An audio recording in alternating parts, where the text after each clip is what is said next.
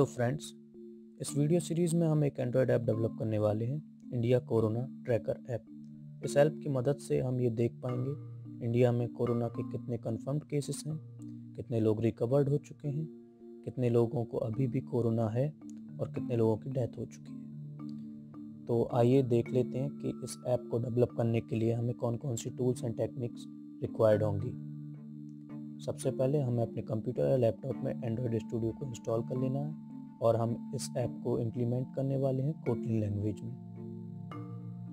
अब बात कर लेते हैं एपीआई की, जहाँ जो भी हम डेटा या फिगर्स अपने ऐप में शो कराने वाले हैं, वो एक एपीआई से हम बोरो कर रहे हैं, जिसकी वेबसाइट का नाम है covid nineteen India dot O R G और सेकेंड पॉइंट में हमने उस एपीआई का लिंक भी आपको प्रोवाइड करा दिया है, जिसमें डेटा जो है वो जीसन फॉर्मेट में अवेलेबल है। आप अगर इसको अपने ब्राउज़र में ओपन करेंगे तो आपको टेक्चुअल फॉर्म में डेटा जो है दिखाई पड़ेगा। तो अभी हम देख लेते हैं कि हमारा ऐप एक्चुअली में होने कैसा वाला है, जिसे हम डेवलप करने वाले हैं इस वीडियो सीरीज़ में। तो चलिए देखते हैं।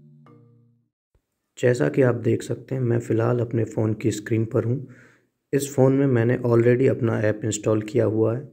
जी हाँ इंडिया कोरोना ट्रैकर के नाम से मैंने उस ऐप को इस फ़ोन में इंस्टॉल किया हुआ है। तो हम जाएँगे मेन्यू में। तो आप देख सकते हैं, नीचे से थर्ड लास्ट जो ऐप है, इंडिया कोरोना ट्रैकर, वही हमारा ऐप है। तो हमें इस पर क्लिक करना पड़ेगा। आप देख सकते हैं, एक विंडो खुली है और ये इसमें दिखा रहा है, इंडिया में कोरोना वायरस के कितने केसेस कंफर्म्ड हैं, जिनकी value four three six two आ रही है अभी, और फिर एक्टिव पेशेंट्स कितने हैं, दैन रिकवर्ड कितने लोग हो चुके हैं और उसके बाद जिन लोगों की डेथ हो चुकी है, उसका भी डेटा दिखा रहा है। आप इस ऐप में स्टेट वाइज भी ये सारा डेटा देख सकते हैं। ये लिस्ट बनी हुई है जिसमें state, total cases, active, recovered और डेथ्स के फिगर्स दिए हुए हैं। तो आप स्क्रॉल कर सकते हैं इसको नीचे। जी हाँ जैसा आप देख सकते हैं, इंडिया के बहुत सारे स्टेट्स के नाम और उनके आगे जो फिगर्स हैं, वो आप देख सकते हैं अपनी स्क्रीन पर।